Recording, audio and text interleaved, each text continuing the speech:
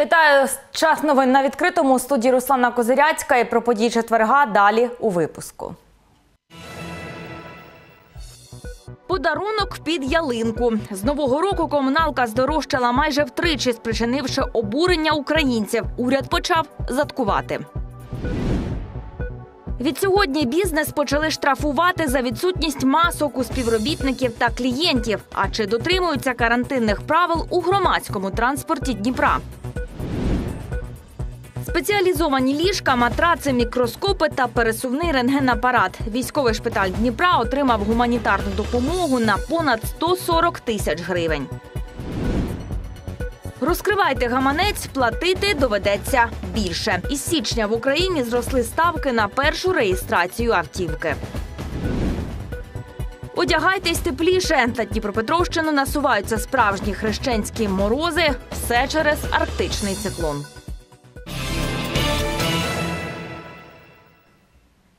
І про це та інше більш детально.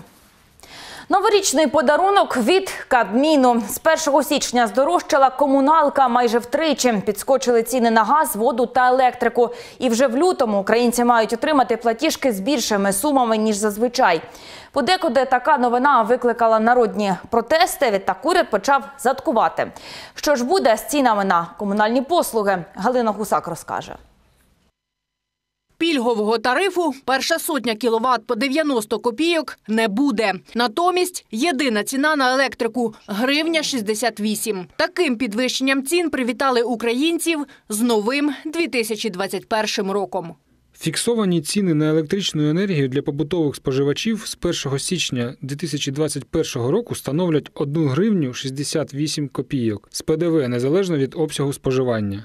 Відтак подорожчала і вода. У середньому в Україні майже на 20%. У Дніпрі це понад 25 гривень за кубометр. Адже собівартість води залежить від ціни на електроенергію. Стрибнув у ціні газ майже на 30%. Через це і за його доставку також доведеться платити більше на 2,5%. Конечная цена, собственно, газ как товар нами не формируется. Более того, мы, как и все прочие потребители, зависим от этой цены на газ. На фоне индекса инфляции, который планируется на этот год 8,1%, мы, мы нашу цену увеличили всего в 2,5 раза. То есть в три раза меньше, чем подорожает все остальное в государстве. У Ольги двоє дітей. Вона у декретній відпустці. Проте змушена підзаробляти, щоб сплачувати синові та доньці, розвиваючи заняття та лікування. Говорить, з чоловіком не покладають рук, аби їхня сім'я жила достойно. Втім, зізнається, робити це стає дедалі складніше. Нашей семье придется экономить на многих каких-то других вещах э, и платить за коммунальные услуги, потому что долги, э, долгов не хотелось бы. Э, Придется ограничивать себя или детей в каких-то занятиях, времяпровождении, потому что наши доходы не растут, остаются на том же уровне, а расходы на коммунальные э, год от года повышаются. И вот как-то это грустно. Відтак у деяких українських містах люди перекривали дороги, протестуючи проти подорожчання комуналки. Тож в уряді схаменулися і запропонували обмежити ціну на газ для населення на час карантину. Планується, що українці платитимуть по 6 гривень 99 копійок за кубометр. Деякі облгази сьогодні вже продають газ для побутових споживачів по 10 гривень і навіть вище. Це е, суттєве зменшення майже на 30 і більше відсотків для е, українців в ціні на газ. Окремо е, треба зазначити, якщо нічого не робити, то вже в наступному місяці ціна на газ для побутових споживачів може зрости до 12 і вище гривень. Експерти теж на боці народу, бо, хоч і визнають, що причини підвищувати тарифи були, проте ціни не обґрунтовані. А усе через підвищення мінімальної зарплатні, говорить економіст Михайло Крапивко. Когда начались массовые протесты граждан, правительство вдруг нашло способы, методы или пообещало их найти и уменьшить эти тарифы. Ну, правда, если образно считать, что тарифы поднялись в 6 раз, то пообещали уменьшить в 2-3 раза. Нині в уряді готують постанову, за якою держава регулюватиме ціну на газ під час карантину. Держрегулювання тимчасове. Можливо, його встановлять до кінця опалювального сезону. У держави буде час, аби врегулювати газовий ринок, подолати монополію деяких компаній-постачальників, які встановлюють завищені тарифи. Галина Гусак, Олександр Вернегоров, Денис Крикус, Open телеканал відкритий. Натомість міжнародний валютний фонд занепокоєний наміром українського уряду зменшити тарифи на газ. Про це повідомив міністр фінансів Сергій Марченко. За словами посадовця, ця ініціатива Кабміну порушить зобов'язання України перед фінансовою установою. Йдеться про меморандум щодо конкурентних умов на ринку тарифоутворення. Міністр каже, уряд намагається пояснити ситуацію МВФ. Наголошує, зростання цін не лише добряче вдарить по гаманцям українців, але й матиме негативні наслідки для економіки країни. Через підвищення тарифів субсидії дніпрянам перерахують, але звертатися до управлінь соцзахисту не потрібно. Це зроблять автоматично без заяв та декларацій. Пільги перерахують за соціальними нормами, за якими їх призначили. Але щоб вперше отримати житлову субсидію, громадяни мають звернутися до структурних підрозділів соцзахисту і надати документи. Зробити це можна особисто, дотримуючись правил карантину, або ж переслати звичайною чи електронною поштою. У Дніпрі житлову субсидію зараз отримують майже 44 тисячі домогосподарств. Внесены изменения в порядок назначения субсидий. И теперь э, без комиссии назначаются субсидии домохозяйствам, в составе которых есть лица, что официально работают за границей в странах, с которыми с Украиной не составлены договора про социальное обеспечение. Также внесли изменения. Субсидия не назначалась, если было дарение на сумму свыше 50 тысяч. Вот это тоже сейчас на общих основаниях назначается субсидия. Медикалізовані ліжка, спецматраци, мікроскопи та пересувний рентгенапарат у понад 140 тисяч гривень отримав сьогодні військовий шпиталь у Дніпрі. За роки російсько-української війни через цей медзаклад прийшли 25 тисяч військових. Вантаж – частина чергової партії гуманітарної допомоги з Франції. Її вже розподіляють між дев'ятьма військовими та цивільними медзакладами України. Проєкт «Міжнародна гуманітарна ініціатива Допомога Схід» з 2018 року зусиллями волонтерів більш ніж 35 медзакладів України отримали від медобладнання до витратних матеріалів. Військові називають проєкт зірцем об'єднання патріотичних сил в Україні, адже жодної копійки державних коштів на нього не витратили. До проєкту приєдналися не тільки представники урядових організацій, великого або невеликого бізнесу, але й просто свідомі українці, і кожен допомагає чим може. Проєкт Допомога Схід охоплює свою роботою як цивільні медичні заклади, безумовно, в першу чергу ті заклади, які знаходяться поблизу лінії зіткнення. Дане медичне обладнання е, дає нам е, можливість е, максимально комфортно працювати з пораненими та хворими військовослужбовцями, прискорити та полегшити відновлення та лікування поранених та хворих 317 нових захворілих та 231 одужавших. Такі дані захворюваності на COVID-19 за добу на Дніпропетровщині. Завантаженість ліжок у госпітальних базах майже 34%. Про це повідомляють у обласному департаменті охорони здоров'я. Найбільше інфікованих у Дніпрі, Кривому Розі та Новомосковську. Загалом з початку пандемії в регіоні зареєстровані понад 62 тисячі інфікованих. Останніми днями статистика поширення зростає, але фахівці поки не бачать серйозних загроз. В обласному лабораторному центрі зазначають, другої хвилі захворюваності коронавірусом можна уникнути, якщо громадяни дотримуватимуться карантинних правил при перших ознаках хвороби, звертатимуться до лікарів, а також тестуватимуться. Наразі в області роблять тести на ковід в 33 державних і приватних лабораторіях. Все, все залежить від нас. І ці карантинні заходи, якщо ми зараз е, активно будемо звертатись, тестуватись, у нас показник цей е, з одної сторони підвищиться, а з другої сторони ми виявимо всі випадки, які у нас є, е, тому що є й носії да, без клінічних ознак, це до 80%. Ковід полюбляє ополонку напередодні водохреща і масових занурень лікарів вкотре нагадують правила і особливо застерігають тим, хто перехворів коронавірусом або мав ускладнення після нього, наприклад, пневмонію, краще взагалі утриматися від народної зимової традиції. Адже переохолодження на фоні ослабленого інфекцією організму може мати непередбачувані наслідки. Пірнати у крижану воду бажано тим, хто загартовує організм протягом року і має досвід моржування. Я не могу сказать, что это запрещено, потому что это добрая воля каждого человека, но нужно очень много подумать. Присоединиться вирусной инфекции на фоне переохлаждения организма очень легко. И тот ковид очень легко может присоединиться и дать тяжелые осложнения. Нельзя окунаться тем лицам, у которых есть заболевания головного мозга и заболевания эм, сосудов головного мозга, головного мозга, заболевания сердца и сосудов сердца. Відсьогодні власників бізнесу почали штрафувати за відсутність масок у їхніх працівників та клієнтів. Каратимуть і в тому випадку, якщо у відвідувача маска на підборідді. Розмір штрафу від 3400 гривень до 5100.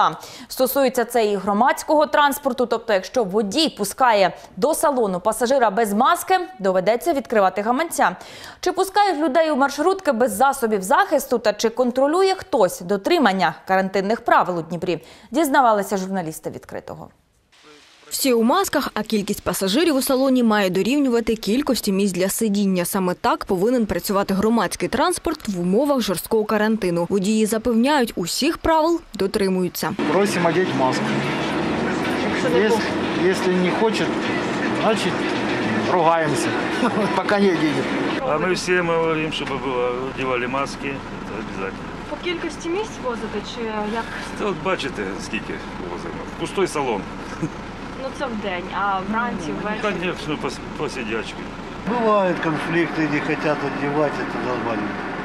Що робите в таких випадках? Мы становимся, высаживаем, убеждаем. Словам кермувальників вторять і пасажири, мовляв, натовп лише у час пік. Людей без масок помічають зрідка, але водії завжди роблять зауваження порушникам карантинних обмежень. Днем нормально, а утром, конечно, в час пик люди бывают и стоя едут. Ну, на работу надо, есть кто без масок. Но в основном водители заставляют всех на уходе одевать маску обязательно. Не всі носять. Я в цьому возмущаюсь. Треба, щоб всі носили маски. Сейчас я вот смотрю, люди в масках, все в транспорте в масках заходят. Ну а так я очень мало езжу, поэтому я не могу сказать. Але коли в салоні автобусу немає журналістів, і пасажири, і кормувальники ведуть себе інакше. Ольга переконалася у цьому на власному досвіді. Моєму розчаруванню, коли я зайшла і ем, спокійно розплатилась, стояла и просто ехала в маршрутке, никто не проявил никакого внимания к тому, что я находилась без маски. Дівчина каже, часто бачить в салонах людей без засобів індивідуального захисту, які доволі агресивно реагують на будь-які зауваження. И потом я даже сама надела маску, я увидела, что другой человек зашел в маршрутку тоже без маски. Я сделала ему замечание, но он просто стал огрызаться. З боку водія нуль реакцій на пасажира без маски. Я работаю за четверых. Понимаете, за четверых. Если я еще буду смотреть, кто в маске, кто в шапке, ну, как бы, беда печаль, за ДТП мне никто ну, не придет и не скажет. Ну, ты же за маски смотрел, а потом вот ДТП и как бы будьте... У міській раді кажуть, дотримання протиепідемічних правил перевіряє спеціальна інспекція. Однак, коли на дворі температура нижче нуля, вона не працює. Що ж до перевищення кількості пасажирів у салонах, у час пік виконати вимогу число людей дорівнює кількості сидячих місць просто нереально. Я як людина, яка за останні три тижні проїхав пів України, я вам скажу, ніде це не, відбувається. Тобто всі міста там Львів, Вінниця, Кам'янець-Подільський, Чернівці, Івано-Франківськ, Тернопіль ніде цього в країні немає. Тобто всі возять відповідно до тої кількості, яка має попит. Поліція в рейди по маршрутках теж не ходить. А відтак є штрафи чи немає. Відповідальність за носіння маски в громадських місцях та за своє здоров'я залишається виключно на кожному з нас. Інна Таранець, Олександр Вірнігоров, Open News, телеканал відкритий. Медична маска стала невід'ємною частиною нашого життя, тож не дивно, що за рік всесвітнє павутиння поповнилося купою кумедних відео, фото та мемів, присвячених цим засобам індивідуального захисту. Дехто з громадян дивував своїм креативним підходом до вибору аксесуару, інші способом його носіння. Героями мережі стали прості перехожі, сусіди за столиком в кафе та навіть президенти і міністри. Сміх сміхом кажуть медики, але у громадських місцях маску носити потрібно обов'язково і робити це правильно. Привіт усім тим, хто носить маски, і ковід-атеїстам. Бо Кличко кожному маску надягне.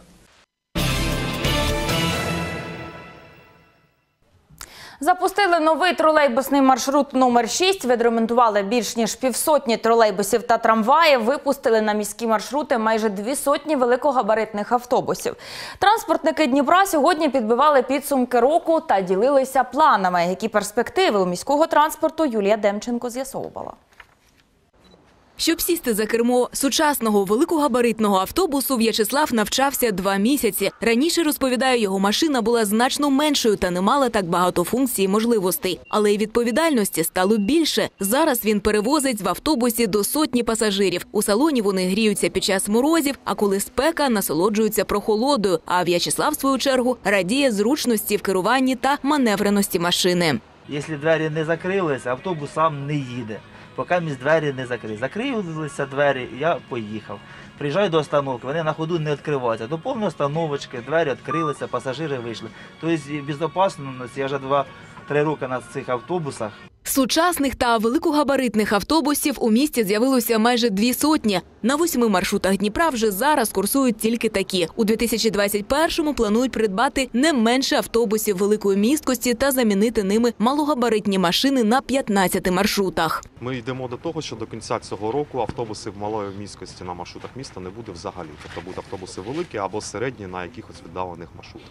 Також зараз розробляється стратегія по виділенню окремих смуг громадського транспорту. Вона буде презентована вже найближчі півтора-два місяці.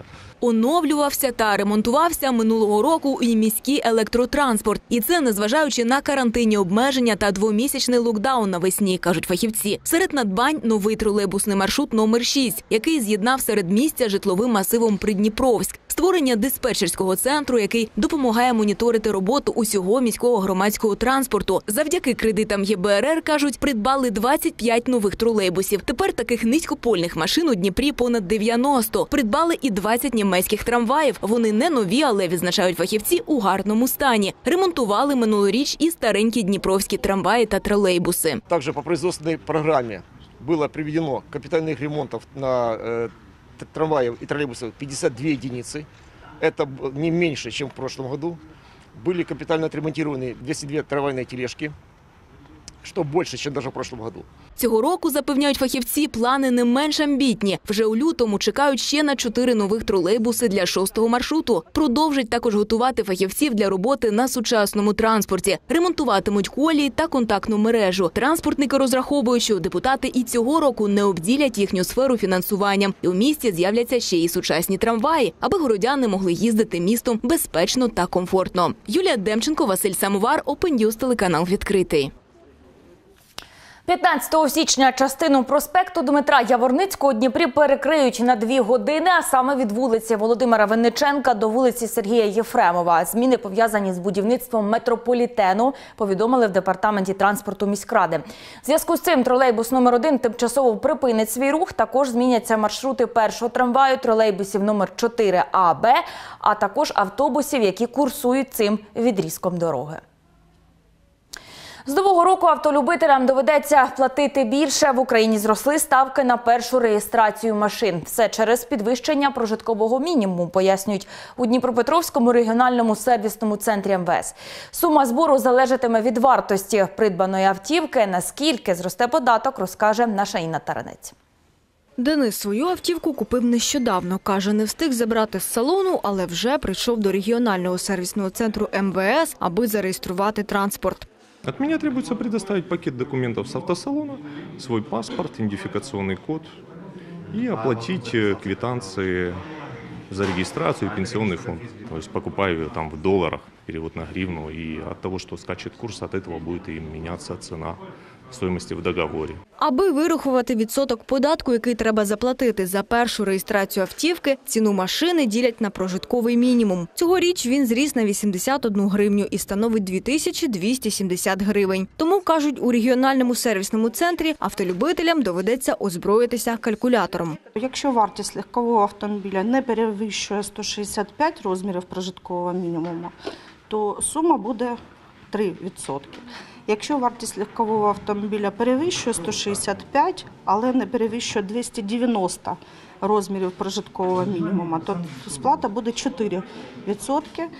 Ну і відповідно, якщо сума буде перевищувати 290 розмірів прожиткового мінімуму, то вона збільшується до 5%.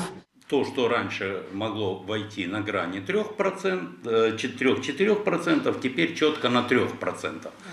Но учитывая то, что это все равно процент от э, договорной стоимости автомобиля при первом приобретении, а стоимость, к сожалению, привязанная к валюте растет постоянно, то постоянно растет платеж. До категорії, де податок обчислюється із суми понад 650 тисяч гривень, потрапив і новенький Mitsubishi Дениса. Тож за реєстрацію доведеться сплатити 5% від вартості автівки. У сервісному центрі кажуть, оподатковується увесь транспорт, що вперше реєструється на території України.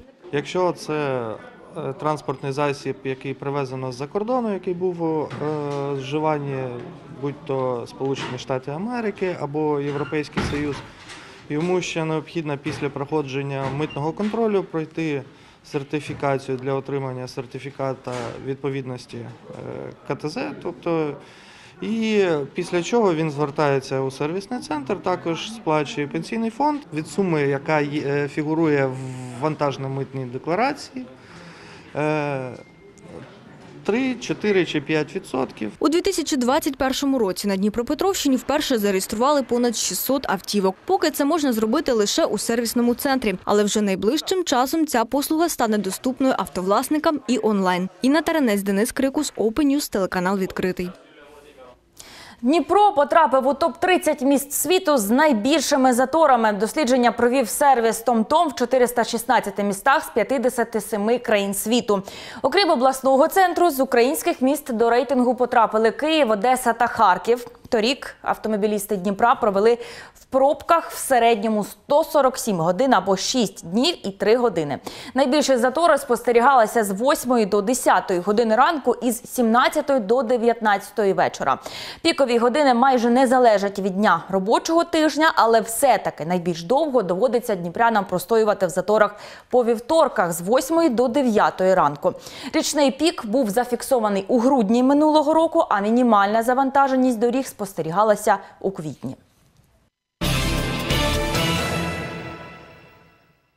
У Криворізькому гірничо-технологічному ліцеї відкрили центр електротехнічних технологій. Там готуватимуть фахівців, які опікуватимуться серцем промислових підприємств, двигунами та іншим електрообладнанням. Одночасно там зможуть займатися 30 учнів. За даними Дніпро ОДА, центр має кабінет теоретичної підготовки, а також практичні лабораторії та майстерню. На їхнє облаштування витратили понад 4 мільйони гривень з державного та обласного бюджетів. Доклали кошти і роботодавці. Відкрито надзвичайно важливий навчально-практичний центр, сучасний центр, який містить е, великий е, перелік технологічного е, обладнання, сучасних симуляторів для роботи кваліфікованих робітників в галузі електротехнічної обробки металів, робо- роботи з електричним обладнанням, устаткуванням, двигунами, електротехнічними системами. Практичний центр створений на вимогу часу для відпрацювання практичних навичок з професії електротехнічного профілю здобувачами освіти, починаючи від закладів загальної середньої освіти, це допрофесійна підготовка, і закінчуючи дорослим населенням, це перепідготовка. Е, Здобувачі освіти можуть опанувати е, з професіями електромонтер з ремонту та обслуговування електроустаткування і електрослюсар, слюсар, черговий та з ремонту устаткування. Час використання обмежити. Із січня 2021 року набрали чинності нові норми застосування гаджетів на уроках. Це оновлений санітарний регламент, кажуть у Міносвіти. Тепер на уроках вчителі мають перемежати технічні засоби навчання зі звичайними. Наприклад, писати з учнями диктанти або ж читати твори. Старшокласники можуть використовувати досягнення технічного прогресу на першій годині занять до 30 хвилин, на другій годині до 20. Водночас при здвоєних заняттях для учнів 10-11 класів не більше 25-30 хвилин на першому уроці та не більше 15-20 хвилин на другому. А після застосування гаджетів для учнів треба влаштовувати фізкульт хвилинки та гімнастику для очей. Онлайн навчання не замінить офлайн. Про це заявив міністр освіти і науки Сергій Шкарлет. На його думку, дистанційна освіта, доповнення до денної форми навчання та можливість для набуття додаткових компетенцій. Тому Державна служба якості освіти здійснить моніторинг роботи шкіл, зокрема щодо якості віддаленої освіти. А для допомоги вчителям, учням та їхнім батькам на час карантину в країні запустили є платформу Всеукраїнська школа онлайн. Зараз на ресурсі 800 уроків з різних предметів. Проте міністр освіти переконує, МОН намагатиметься повернути дітей за парти, адже учні мають соціалізуватися та отримувати повний комплекс необхідних знань.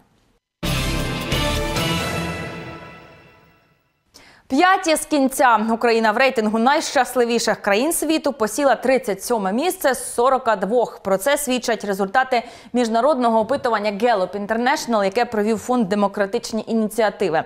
Експерти кажуть, Україна демонструє різке падіння показника рівня щастя. За рік він впав з 33% до 14%. Серед опитаних країн найнижчий рівень щастя демонструють мешканці Північної Македонії. Вони посіли перше місце у топі нещасливих країн. Далі йде Гана, Гонконг, Вірменія, Україна. У десятці найщасливіших країн Киргизстан, Казахстан, Еквадор, Азербайджан, Нігерія, Індонезія, В'єтнам, Іспанія, Швейцарія та Індія. Основними критеріями для визначення щастя є внутрішнє відчуття щастя людини та економічне становище.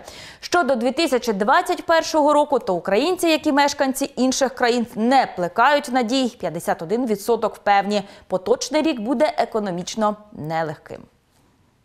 Одягайтесь тепліше. У найближчі дні Дніпропетровщину накриють справжні хрещенські морози. Їх обіцяють вже цих вихідних все через арктичний циклон. Пік похолодання очікується в період з 14 по 19 січня. В цей час стовпчики термометрів подекуди опускатимуться вночі до 14-20 градусів морозу. В п'ятницю в другій половині дня знов засніжить.